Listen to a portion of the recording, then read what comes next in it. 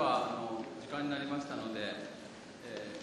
これから貧困にどう立ち向かうかということで公開討論会を開催させていただきます、えー私あの本日の進行を務めさせていただきます経済研究所の北村でございます。よろしくお願いいたします。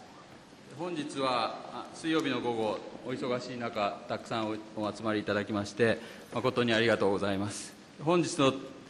討論会の開催にあたりましては一橋大学本部経済研究所グローバル COE えー女水会からご協力をいただきました。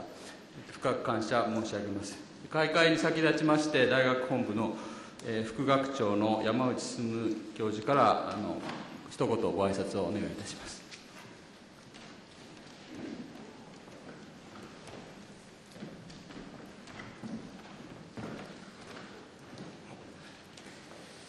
えー、と一橋大学は、えー本学のまあ目標としまして、えー平和な政治経済社会を構築するということをまあ目標として、そのためのあの知的資産を活用するということを謳っております。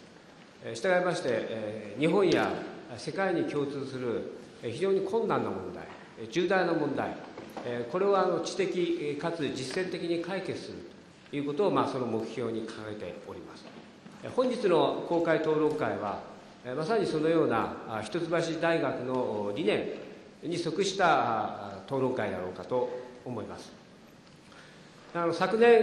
えー非常にあの経済危機あるいは金融危機というものが発生しまして、その時点で、今回同様に、グローバル COE プログラムの人たちを中心として、一橋大学も同時にこれを主催するという形で、金融危機に関する公開討論会というのをここで行いました。非常に多数の方の参加を得て、有意義な会だったと思います。でこの成功に気をよくしまして、関西で同様の企画を行いました。関西アカデミアというのがありまして、一橋大学の知名度を関西で上げるといったようなこと、あるいはもうちょっと上品に言えば、えー一橋大学のあの知的資産をえー他地区ですね、あの関西などで生かしてみようということで企画されているもので、えー講演会やシンポジウムを行っているものでありますけれども、その第3回目の関西アカデミアにおきまして、同じく公開討論会として、えー金融危機から経済危機へ、最初は金融危機だったんですが、この段階では経済危機という問題の切り口があるということで、金融危機から経済危機へという題目で、公開討論会を行いました。この時あの、まあ、関西という地区である、土曜日だ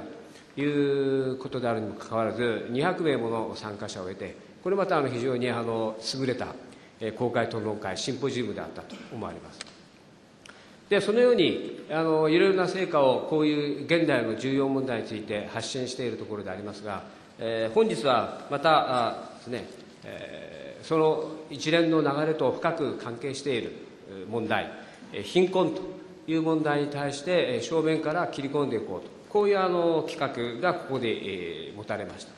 でこの貧困の問題もまた現在の日本において最も重要なあるいは日本だけではなく世界において極めて重要な問題であるということは、まあ、論を待たないところでありますけれども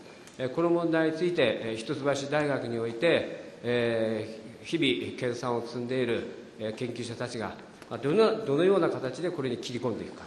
というのは非常にあの興味あるところであると思われます。で日頃のあの研究成果というものがこのような形で、え社会に還元されるということは大変素晴らしいことであるとこう考えております。本日はこれから長い時間になると思いますけれども、